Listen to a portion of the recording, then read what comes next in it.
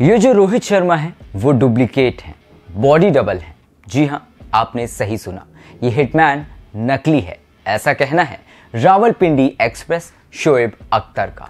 वैसे शोएब अख्तर ने ऐसा क्यों कहा? जानने के लिए देखते रहें क्रिकेट फॉर्मर भारतीय टीम इस वक्त एशिया कप 2023 में अपना दम दिखाती हुई नज़र आ रही है।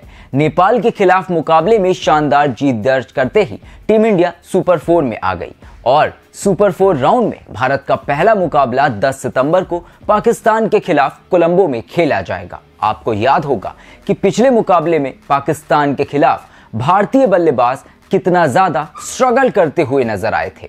रोहित शर्मा, शुभमन गिल, विराट कोहली और श्रेयस अय्यर चारों ही स्टार बल्लेबाज सस्ते में पवेलियन लौट गए थे, जिसके बाद ईशान किशन और हार्दिक पांड्या की शानदार बल्लेबाजी के दम पर टीम इंडिया सम्मानजनक स्कोर तक पहुँच पाई थी। आपको बता दें, कप्तान रोहित शर्मा पाकिस्तान के खिलाफ पिछले दो मुकाबलों में स्ट्रगल करते हुए नज़र आए हैं, जिसे लेकर पाकिस्तान के पूर्व दिग्गज खिलाड़ी शोएब अख्तर ने एक ऐसी बात कही है, जिसे सुनकर रोहित शर्मा के फैंस आग बबूला हो उठेंगे। दरअसल पिछले मैच में रोहित शर्मा को शाहीन शाह अफरीदी ने आउट किया था, जिस पर शोएब अख्तर ने बयान दिया है।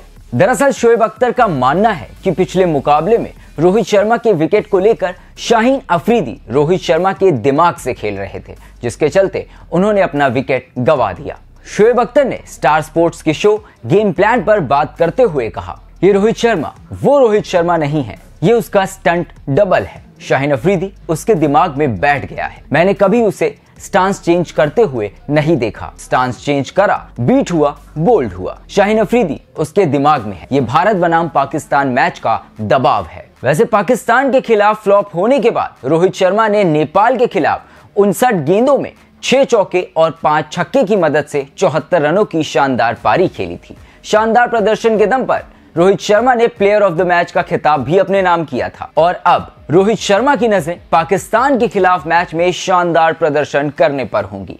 वैसे क्या आपको लगता है कि शोएब अख्तर ने रोहित शर्मा पर यह जो बयान दिया है, वो सही है? या फिर रोहित शर्मा अब अपने बल्ले से शोएब अख्तर और पाकिस्तान को करारा जवाब देने वाले हैं? कमेंट में अपनी राय हमें ज़रूर बताएँ। अगर ये वीडियो आपको पसंद आया हो तो इसे लाइक और शेयर करें और क्रिकेट से जुड़ी अन्य जानकारियों के लिए हमारे चैनल को सब्सक्राइब करना ना भूलें।